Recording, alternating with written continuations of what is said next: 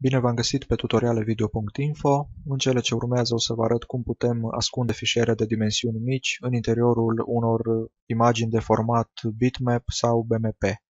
De asemenea, în partea a doua a acestui tutorial video o să vorbim foarte puțin și despre criptografie.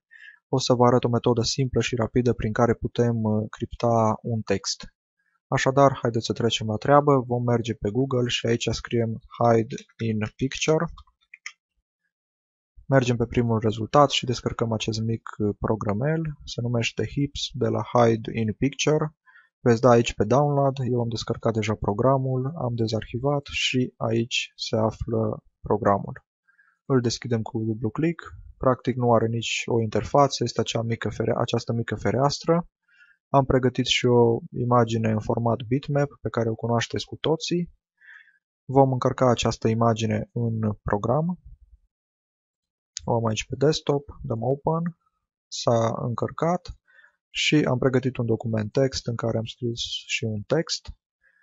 Ce trebuie să facem pentru a ascunde acest uh, mic fișier text în uh, interiorul acestei imagini bitmap? Vom merge pe Image, Hide File și selectăm pur și simplu textul, uh, fișierul text, vom da Open, aici alegem o parolă, test 1, 2, 3, 4, confirmăm parola, și la algoritmul de criptare vom lăsa pe Blowfish. Apăsăm OK.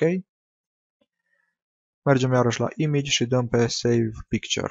În acest moment, dacă vom trimite această imagine unui prieten, acel prieten nu are cum să-și dea seama că în spatele imaginii se află ascuns un document text.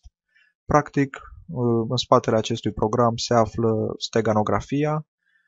Steganografia este știința sau arta care se ocupă cu ascunderea unui fișier în interiorul altui fișier. Deci să nu confundăm steganografia cu criptografia.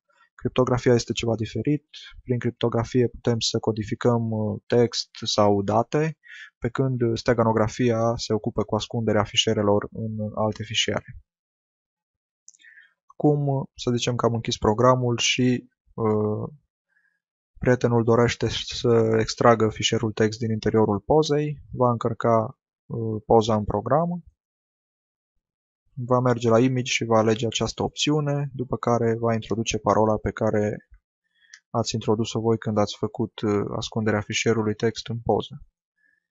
Acum va putea extrage acest uh, document text.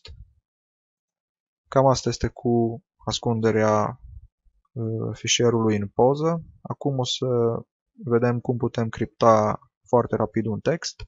Vom deschide din nou Google. În bara de căutare scriem encode.me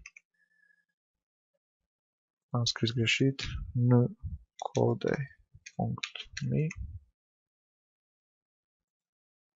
Și aici tot ce trebuie să facem este să introducem textul nostru.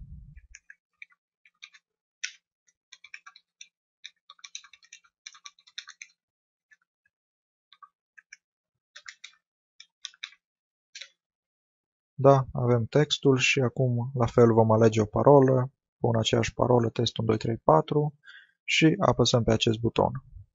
După cum, ați, după cum vedeți, uh, textul a fost codificat instant.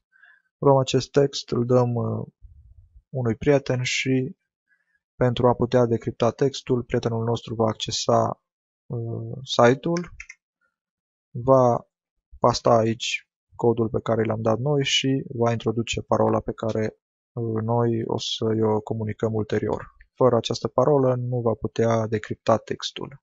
La fel va apăsa aici și textul a revenit la forma inițială.